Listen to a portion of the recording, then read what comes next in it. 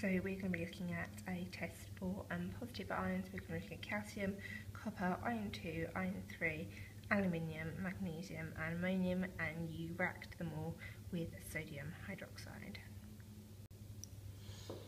So starting with calcium, um, I'm doing this in a test tube but when I get my students to do it they do it on a um, laminated card so they can see the colour change. So I'm adding sodium hydroxide and what we can see forming is a white precipitate. So you need to know calcium, when mixed with sodium hydroxide, forms a white precipitate. The next one I'm going to do is going to be copper. So take a nice lot of my copper into my test tube, reacting that with my sodium hydroxide. And if you watch what happens, you can see let me bring that a bit closer for you. You can see that a blue precipitate has formed on that. Try and get that to focus. Okay, so there's a blue precipitate up top here and the unreacted copper is down there. If I just give that a bit of a shake, you can see it is all turning into um, sludgy copper precipitate. So the next reaction is iron 2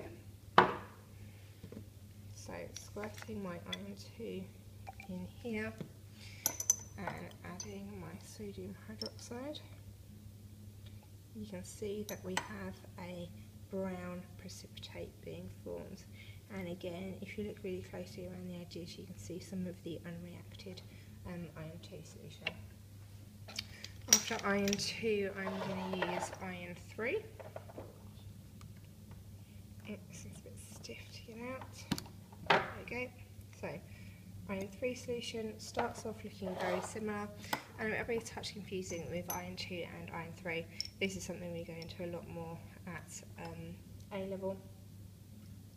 So the iron 3 has formed a kind of like a, um, a, a, more rusty browny colour whereas this colour here is more of a, of a, a greeny browny colour for iron 2. Then we have our aluminium.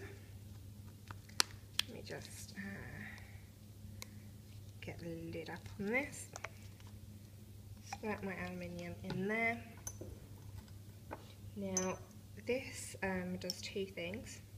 You can see it goes white at first. So that's our white um, precipitate from aluminium.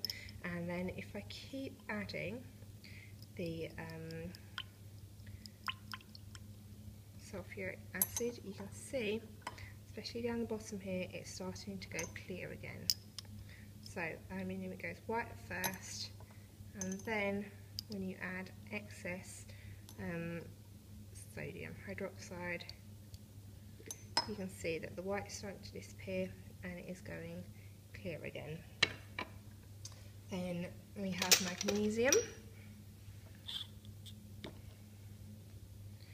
So I put my magnesium in there, adding in my um, sodium hydroxide, and this again has formed a white precipitate. Um, and just because it's here, let's have a go at, oh, can't get this out. Right, let me just cheat slightly and pour it. Okay, ammonia, add some sodium hydroxide, and nothing happens. So if I just bring it down here, we can see that calcium forms a white precipitate, copper forms a blue precipitate, iron 2 forms kind of a browny greeny precipitate, um, iron 3 is more browny red precipitate, um, um, aluminium forms a precipitate that starts white and then as we add more and more, as we add more and more it goes back to clear and then magnesium has a white precipitate at the bottom and nothing happens with ammonia. Thanks for watching. I really hope this is helpful. Subscribe so you don't miss any of my new videos. Share to help your friends get better grades. Any comments, corrections, questions or requests down below please.